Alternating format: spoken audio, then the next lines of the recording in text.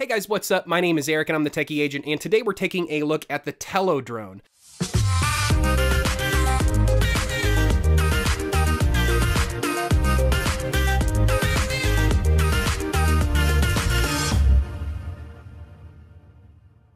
Now, this looks like a toy drone, but the reason why this drone has been getting so much notoriety is that even though it is not branded by DJI, uh, DJI has a lot of components that they have been responsible for building into this unit. As a matter of fact, you can even buy this drone from the DJI official web store. And a lot of the sensors uh, that are on board this little tiny drone uh, are from DJI. And so it's being kind of dubbed as the DJI Tello drone. And even though it is a toy drone uh, and it's only $99, you know, which is a lot cheaper compared to the very, very expensive drones, a lot of people have been ranting and raving about this drone. And so I had to pick it up and just wanted to find out how good is this little drone actually.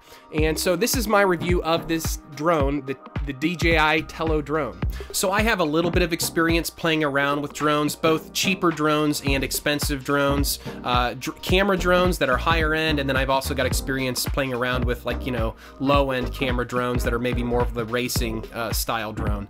And um, and so this is kind of my perspective. I'm, I'm the, the typical consumer when it comes to drones. The typical consumer with a little bit of experience with both, you know, DJI drones and some cheaper toy drones as well. And so I'm hoping to kind of lend that perspective to you guys here with the Tello drone uh, because it is obviously a consumer drone. Uh, but the big thing that I really want to focus in on on the Tello drone is the camera capabilities. Uh, the camera on the Tello drone is being touted as a high-end camera or a higher-end camera for this expensive of a drone. And um, and so that's really something that uh, that really the market hasn't seen is a $99 drone that has a good camera on it. Now, real quickly before we get to the actual camera review, let's just talk about the app. The app is laid out very well. You can definitely tell that um, it was an intuitive design that's been applied here, uh, and it's very reminiscent of DJI's main DJI app, but it's obviously been stripped down to be applied to the DJI Tello drone,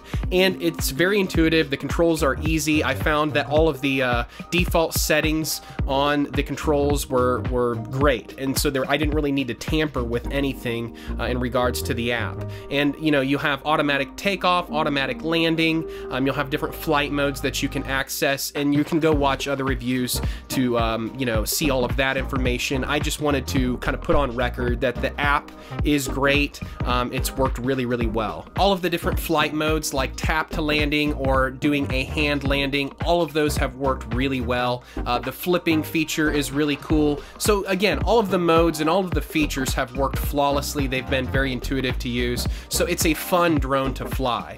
So at the very least, if you're looking for an affordable, fun drone to fly that has some of the advanced features that you might expect from a much more expensive drone, and some just fun features like flipping and automatic landing and, you know, some of that stuff, and the ability to just have to be a really stable drone in the air. This drone provides all of that. It's a really dummy-proof drone, uh, and in terms of it just being a first drone, I highly recommend it in terms of it just being a good beginner drone. But one of the things that I really wanted to take a look at that I felt, you know, a lot of other uh, reviews haven't done is to provide you guys with some real, uh, actual sample footage and talk about if the camera and the video on this are any good. So the video footage you're seeing here is some of the first footage that I shot using the drone, um, completely raw, unedited, no color correction or anything like that.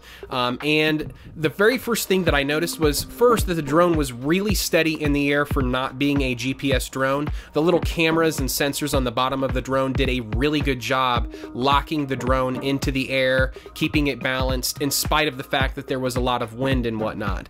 Um, now I did notice that even though in, in terms of proximity I was close to the drone, that I was getting this stuttering uh, video effect on all of the video that I was taking. So initially I thought that maybe the video setting that I had on it was too high, that the bit rate was too high for um, the camera to be able to, uh, you know, record all of that data in a fluid way. So I tried adjusting the bitrate and lowering it in the app to see if that would actually smooth out the video. And actually, as soon as I did that, I actually got worse results. Lowering the bitrate made the video even uh, more jittery and definitely certainly made it grainy and really unusable. And so, uh, you know, lowering the bitrate and fooling around with the video quality settings didn't really do a whole lot in terms of smoothing out uh, the video quality, even though, again, like I'm close to the drone, it's not like I was far away. So even though the flight capabilities of this drone are excellent for the $99 price point, I was really disappointed